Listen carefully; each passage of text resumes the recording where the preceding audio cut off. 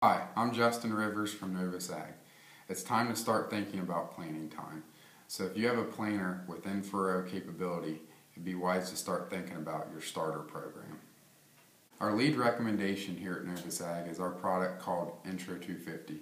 N-Tro 250 is an orthophosphate fertilizer, which means the nutrients are readily available for plant uptake, and it's also a low salt seed safe solution.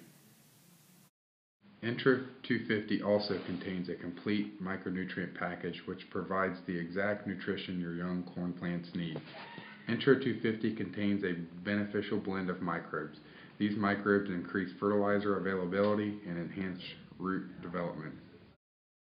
I recommend using N-Tro 250 because it is a complete micronutrient and biological package.